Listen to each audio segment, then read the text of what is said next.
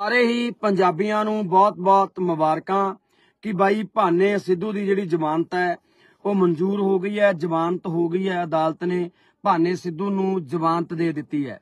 ਸੋ ਮਿਲਣੀ ਸੀ ਕਿਉਂਕਿ ਇਹ ਝੂਠਾ ਜਿਹੜਾ ਪਰਚਾ ਹੈ, ਕੋਰਟਾਂ ਨੂੰ ਵੀ, ਅਦਾਲਤਾਂ ਨੂੰ ਪਤਾ ਹੀ ਹੁੰਦਾ ਕਿ ਕੌਣ ਝੂਠਾ ਹੈ, ਕੌਣ ਸੱਚਾ ਹੈ। ਪਰ ਇੱਕ ਗੱਲ ਮੈਂ ਹੱਥ ਜੋੜ ਕੇ ਬੇਨਤੀ ਕਰਦਾ ਕਿ ਭਰਾਵੋ, ਭਾਵੇਂ ਜ਼ਮਾਨਤ ਹੋ ਗਈ ਹੈ ਪਰ ਇਹ ਨਾ ਭੁੱਲਿਓ ਕਿ ਭਾਨੇ ਸਿੱਧੂ ਤੇ ਬਿਨਾ ਵਜ੍ਹਾ ਦਾ ਤਸੱਦਦ ਹੋਇਆ ਹੈ। ਇਹ ਨਾ ਭੁੱਲਿਓ ਕਿ 84 84 ਵਾਲਾ ਸਮਾਂ ਯਾਦ ਕਰਵਾਤਾ ਮੌਜੂਦਾ ਸਰਕਾਰ ਨੇ। ਇਹ ਨਾ ਭੁੱਲਿਓ ਕਿ ਇਹ ਜਿਹੜਾ ਪਰਚਾ, ਇਹ ਸਰਾਸਰ ਗਲਤ ਹੈ, ਝੂਠਾ ਪਰਚਾ ਹੈ। ਇਸ ਕਰਕੇ 29 ਤਰੀਕ ਨੂੰ ਜਿਹੜਾ ਆਪਣਾ ਕੋਟ ਦੁੰਨੇ ਇਕੱਠ ਰੱਖਿਆ ਉਸ ਇਕੱਠ ਦੇ ਵਿੱਚ ਵੱਧ ਤੋਂ ਵੱਧ ਵੱਡੇ ਕਾਫਲੇ ਬਣਾ ਕੇ ਪਹੁੰਚਿਓ ਜ਼ਮੀਰਾਂ ਜਗਾ ਕੇ ਪਹੁੰਚਿਓ। ਕਿਉਂਕਿ ਲੜਾਈ ਜ਼ਮੀਰਾਂ ਦੀ ਹੈ, ਲੜਾਈ ਸਾਡੀ ਹੋਂਦ ਦੀ ਹੈ।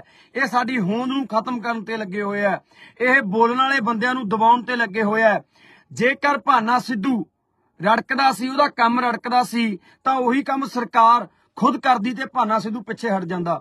ਪਰ ਤੁਸੀਂ ਖੁਦ ਵੀ ਲੋਕਾਂ ਨੂੰ ਮਾਰ ਰਹੇ ਹੋ, ਲੋਕਾਂ ਦੇ ਪੈਸੇ ਕਰੋੜਾਂ ਜਿਨ੍ਹਾਂ 'ਚ ਫਸੇ ਹੋਏ ਨੇ, ਉਹਨਾਂ ਦਾ ਸਾਥ ਦੇ ਰਹੇ ਹੋ ਤੇ ਫਿਰ ਅਸੀਂ ਕਿਵੇਂ ਚੁੱਪ ਕਰ ਜਾਈਏ? ਭਾਨਾ ਕਿਵੇਂ ਚੁੱਪ ਕਰ ਜੇ ਜਾਂ ਤਾਂ ਤੁਸੀਂ ਉਹ ਕੰਮ ਕਰੋ ਭਾਨਾ ਬਿਲਕੁਲ ਘਰੇ ਸ਼ਾਂਤ ਬਹਿ ਜਾਊਗਾ ਵੀ ਹਾਂ ਯਾਰ, ਪ੍ਰਸ਼ਾਸਨ ਵੀ ਕੰਮ ਕਰ ਰਿਹਾ ਤੇ ਸਰਕਾਰ ਵੀ ਕੰਮ ਕਰ ਰਹੀ ਹੈ। ਪਰ ਜਿਹੜੇ ਲੋਕ ਦੁਖੀ ਹੋ ਕੇ ਸਾਡੇ ਕੋਲੇ ਪਹੁੰਚਦੇ ਆ, ਅਸੀਂ ਕਿਵੇਂ ਉਹਨਾਂ ਨੂੰ ਘਰਾਂ ਚੋਂ ਮੋੜ ਦਈਏ? ਜੇ ਸਰਕਾਰ ਨੂੰ ਇੰਨੇ ਹੀ ਚੁੱਭਦੇ ਆ, ਤਾਂ ਸਰਕਾਰ ਜਿਹੜੇ ਅਸੀਂ ਕੰਮ ਕਰਦੇ ਆ, ਜਿਹੜੇ ਲੋਕ ਸਾਡੇ ਕੋਲੇ ਆਉਂਦੇ ਆ, ਉਹਨਾਂ ਦੇ ਕੰਮ ਤੁਸੀਂ ਖੁਦ ਕਰਨ ਲੱਗ ਜਾਓ, ਕਿਉਂ ਕੋਈ ਸਾਡੇ ਕੋਲੇ ਆਵੇ? ਇਸ ਕਰਕੇ ਮੈਂ ਪੰਜਾਬ ਦੇ ਲੋਕਾਂ ਨੂੰ ਹੱਥ ਜੋੜ ਕੇ ਅਪੀਲ ਕਰਦਾ ਕਿ ਭਰਾਵੋ ਆਪਾਂ ਪਰਚਾ ਇਹ ਰੱਦ ਕਰਾਉਣਾ, ਸਰਾਸਰ ਝੂਠਾ ਪਰਚਾ ਹੈ ਤੇ ਜਿਹੜਾ ਇਹ ਤਸੱਦਦ ਹੋਇਆ ਸਰਕਾਰ ਤੋਂ ਹਿਸਾਬ ਮੰਗਣਾ ਹੈ, ਸਰਕਾਰ ਨੂੰ ਪੁੱਛਣਾ ਹੈ ਕਿ ਇਹ ਤਸੱਦਦ ਗੈਂਗਸਟਰਾਂ ਤੇ ਕਿਉਂ ਨਹੀਂ ਹੋਇਆ, ਇਹ ਤਸੱਦਦ ਚਿੱਟਾ ਵੇਚਣ ਵਾਲੇ ਤੇ ਕਿਉਂ ਨਹੀਂ ਹੋਇਆ, ਇਹ ਤਸੱਦਦ ਕਰੋੜਾਂ ਰੁਪਏ ਲੁੱਟਣ ਵਾਲੇ ਏਜੰਟਾਂ ਤੇ ਕਿਉਂ ਨਹੀਂ ਹੋਇਆ, ਇਹ ਤਸੱਦਦ ਉਹਨਾਂ ਤੇ ਕਿਉਂ ਨਹੀਂ ਹੋਇਆ ਜਿਹੜੇ ਪੰਜਾਬ ਨੂੰ ਲੁੱਟ ਕੇ ਖਾ ਗਏ, ਜਿਹੜੇ ਅੱਜ ਗੱਡੀਆਂ 'ਚ ਘੁੰਮਦੇ ਆ, ਜਿਹੜੇ ਅੱਜ ਜਹਾਜ਼ਾਂ 'ਚ ਘੁੰਮਦੇ ਆ, ਇਹ ਰਾਜੇ ਬੜਿੰਗਰਗਿਆਂ ਤੇ ਕਿਉਂ ਨਹੀਂ ਕਦੇ ਸੂਈ ਕਸੀ? ਇਹ ਬਾਦਲ ਕਹਿੰਦੇ ਕਿਉਂ ਨਹੀਂ ਕਦੇ ਸੂਈ ਕਸੀ? ਇਸ ਕਰਕੇ ਮੈਂ ਪੰਜਾਬ ਦੇ ਲੋਕਾਂ ਨੂੰ ਕਹਿਣਾ ਚਾਹਣਾ ਕਿ ਬਾਈ, ਲੜਾਈ ਹਜੇ ਲੰਬੀ ਹੈ। ਲੜਾਈ ਬਹੁਤ ਲੰਬੀ ਹੈ, ਲੜਾਈ ਹਜੇ ਮੁੱਕੀ ਨਹੀਂ, ਜ਼ਮਾਨਤ ਹੋ ਗਈ ਹੈ, ਠੀਕ ਹੈ। ਆਪਾਂ ਖੁਸ਼ ਹਾਂ, ਪਰ ਲੜਾਈ ਨੂੰ ਪਿੱਛੇ, ਲੜਾਈ ਨੂੰ ਪਿੱਛੇ ਨਹੀਂ ਛੱਡਣਾ। ਲੜਾਈ ਇਹ ਲੰਬੀ ਚੱਲੂਗੀ, ਸਰਕਾਰ ਨੂੰ ਪੁੱਛਣਾ ਕਿ ਸਰਕਾਰੇ ਕਿਉਂ ਕਿਉਂ ਤੂੰ ਤਸੱਦਦ ਕੀਤਾ ਬਿਨਾ ਗੱਲ, ਬਿਨਾ ਵਜ੍ਹਾ ਤੋਂ? ਸਰਕਾਰੇ ਕਿਉਂ ਚੰਗਾ ਭਲਾ ਬੰਦਾ ਕੰਮ ਕਰਦਾ, ਲੋਕਾਂ ਦੇ 20-20 ਲੱਖ ਰੁਪਇਆ ਮੜਾਉਣ ਵਾਲੇ ਬੰਦੇ ਨੂੰ ਤੂੰ ਖੱਜਲ ਖੁਆਰ ਕੀਤਾ ਕਿਉਂ? ਇਹ ਗੱਲਾਂ ਪੁੱਛਣੀਆਂ ਨੇ ਤੇ ਪੁੱਛਣ ਵਾਲੇ ਕੌਣ ਨੇ? ਮੇਰੇ ਪੰਜਾਬ ਦੇ ਲੋਕ, ਆ ਜਾਗਦੀਆਂ ਜ਼ਮੀਰਾਂ ਵਾਲੇ ਲੋਕ।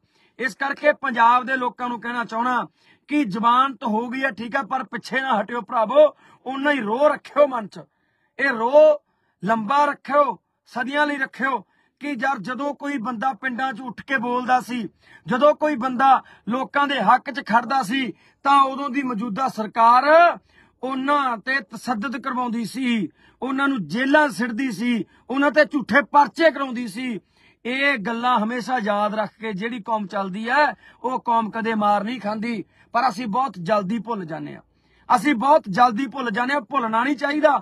ਇਸ ਕਰਕੇ 29 ਤਰੀਕ ਕੋਈ ਬਹੁਤਾ ਦੂਰ ਨਹੀਂ। 29 ਤਰੀਕ ਨੂੰ ਵੱਡਾ ਇਕੱਠ ਰੱਖ ਕੇ ਇਹ ਸਾਬਤ ਕਰ ਦਿਓ ਪੰਜਾਬ ਦੇ ਲੋਕੋ ਕਿ ਸਾਡੇ ਅੰਦਰ ਰੋਹ ਹੈ, ਕਿ ਸਾਡੇ ਇੱਕ ਪੰਜਾਬ ਦਾ ਮੁੰਡਾ ਜਿਹੜਾ ਨਿਧੜਕ ਹੋ ਕੇ ਸਰਕਾਰ ਦੇ ਖਿਲਾਫ ਬੋਲਦਾ ਹੈ, ਸਰਕਾਰ ਨੂੰ ਸਵਾਲ ਕਰਦਾ ਹੈ, ਸਰਕਾਰ ਨੂੰ ਪੁੱਛਦਾ ਘੇਰਦਾ ਕਿ ਇੱਥੇ ਤੁਸੀਂ ਗਲਤ ਹੋ ਤੇ ਲੋਕਾਂ ਦੇ ਫਸੇ ਹੋਏ ਕਰੋੜਾਂ ਰੁਪਏ ਏਜੰਟਾਂ ਦੇ ਵਿੱਚੋਂ ਕਢਾ ਕੇ ਵਾਪਸ ਲੋਕਾਂ ਨੂੰ ਦਿੰਦਾ ਹੈ। ਕਿ ਉਸ ਮੁੰਡੇ ਤੇ ਤਸੱਦਦ ਹੋਣਾ ਕੋਈ ਚੰਗੀ ਗੱਲ ਹੈ ਇਹ ਸਰਕਾਰ ਨੂੰ ਪੁੱਛਣਾ ਭੁੱਲਿਓ ਨਾ।